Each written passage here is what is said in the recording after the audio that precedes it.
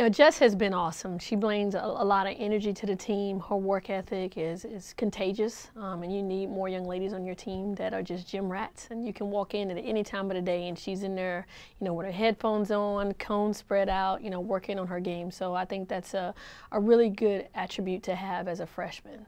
Uh, Sierra brings, you know, a sense of athleticism that we don't have. Um, she's eager to learn from day one. I think she struggled with the tempo and the pace that she needed to play with, but she took our um, constructive criticism extremely well, and, and she has improved and changed and, and is headed in the right direction. And we're looking forward to a lot of things out of Sierra this year. And Erin brings a totally different aspect. You know, she's 6'2", you know, she can play a lot of different um, positions, and I've told her that. Don't worry about what position you're playing, just worry about being on the court, finding a way to get on the court.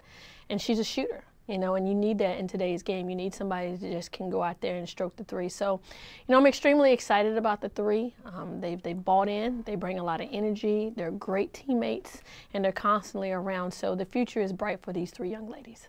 You know, for freshmen, it's never easy. You know, you're coming in, you're learning a whole new system. Um, the tempo is different, the pace that you have to work at is different.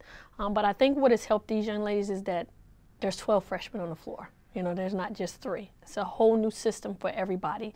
So it's not like you've got four or five people that are just completely shining and know what they're doing and they feel like they're lost little lost puppies.